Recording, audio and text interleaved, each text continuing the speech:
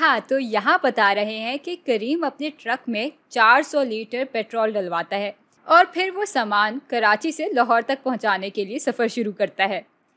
उसका ट्रक फ़ी किलोमीटर सफ़र तय करने के लिए सिफर अशारिया आठ लीटर पेट्रोल इस्तेमाल करता है। अच्छा अब ये चाह रहे हैं कि हम ग्राफ की मदद से दिखाएँ कि टैंकी में कितना पेट्रोल बाकी रह जाता है जैसे जैसे करीम अपने ट्रक में सफ़र तय करता जाता है। तो यहाँ हमारे पास ग्राफ दिया हुआ है। एक्स एक्सिस दिखा रहा है उतने फासले को जो कि ट्रक तय कर रहा है और वाई एक्सिस दिखा रहा है पेट्रोल की मकदार को।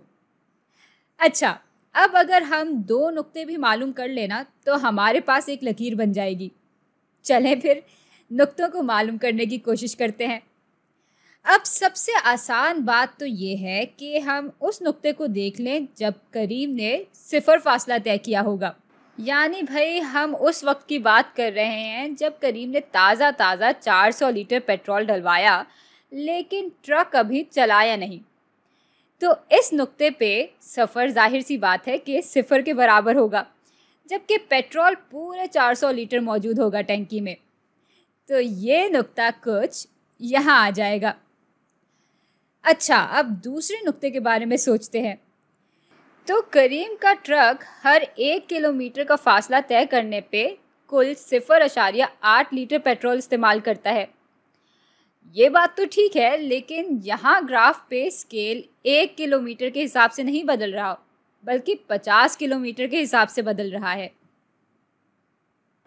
और इसलिए हम देख लेते हैं कि अगर ट्रक एक किलोमीटर का फासला तय करने के लिए सिफर शारिया आठ लीटर पेट्रोल इस्तेमाल कर रहा है तो जैसे सौ किलोमीटर का फासला तय करने के लिए वो सिफर अशारिया आठ ज़रब सौ, यानी 80 लीटर पेट्रोल इस्तेमाल कर चुका होगा। अच्छा अब ये जो वाई एक्सिस है, वो असल में ट्रक की टैंकी में जो बचा हुआ पेट्रोल है, उसकी मकदार की निशानदही कर रहा है। तो 100 किलोमीटर का फासला तय करने के लिए ट्रक ने 80 लीटर पेट्रोल इस्तेमाल किया और इस वजह से 100 किलोमीटर के बाद ट्रक की टैंकी में 400 माइनस अस्सी, यानी 320 लीटर पेट्रोल रह जाएगा।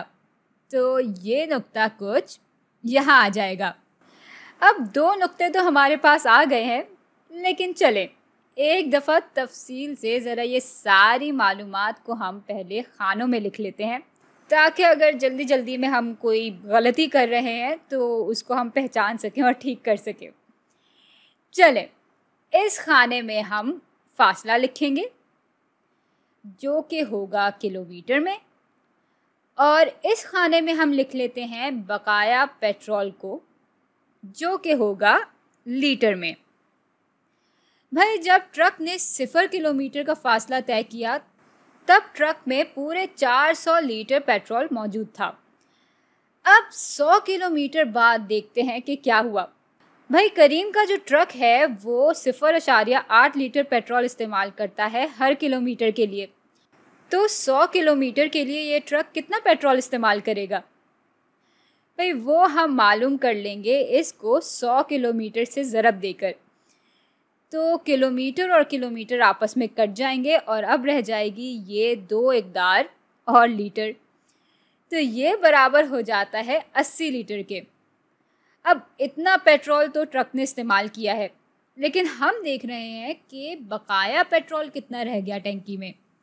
तो 400 से जब हम 80 लीटर निकाल देंगे तो हमें मालूम हो जाएगा कि 100 किलोमीटर का सफ़र तय करने के बाद ट्रक की टैंकी में अब 320 लीटर पेट्रोल बाकी रह गया है। यानी ये दोनों नुक्ते हमने ठीक बनाए थे और अब इन दोनों को जोड़कर हम अपनी लकीर बना लेंगे।